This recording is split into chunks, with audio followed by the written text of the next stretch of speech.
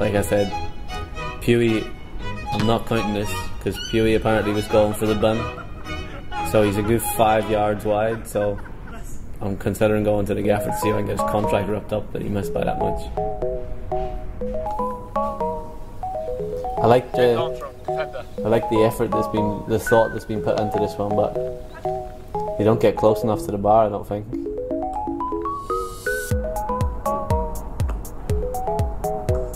That's a great. He's he's got better takers than half of our team now.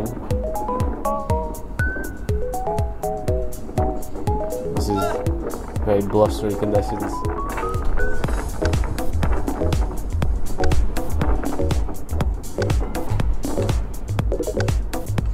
yes, that's a great. He's gone to celebrate. His mates cut his short as well.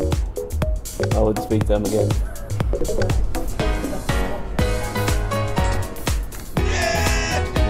His dad loved that more than he did, I think.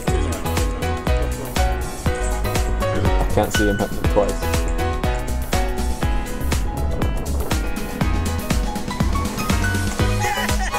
oh yes, that's up there. Oh wow, that's a great. He's, he's had that from distance. He's still celebrating as well. He enjoyed that one, I think. No. Yes, that's brilliant. I don't know whether it's father and son, but there's a young lad and a dad, and that's terrific. Andy Brown, how you? How oh, you doing? Andy Brown. Not sure what position he plays. I hope he's the ref after that effort. Oh, he's. Oh. That one wasn't even floated, that was just zing. Great attempt.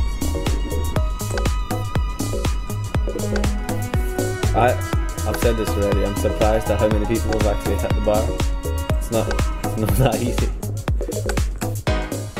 So, I've watched all the videos and it's uh, it's very close between two. Uh, I've got to give a special mention to Jack Lord because I think for him hitting it twice, he deserves a mention and he was very close to winning. But uh, my winner are Liam and Michael Burrows.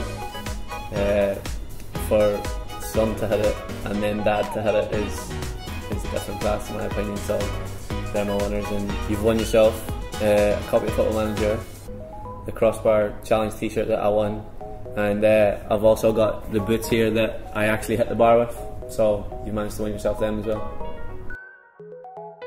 the other runners up along with Jack who and have managed to get themselves a copy of Football Manager are Ben Lewis, Sam Wells and, and Ollie Higgins. A few great efforts from the lads so I think they deserve, a, deserve to get a copy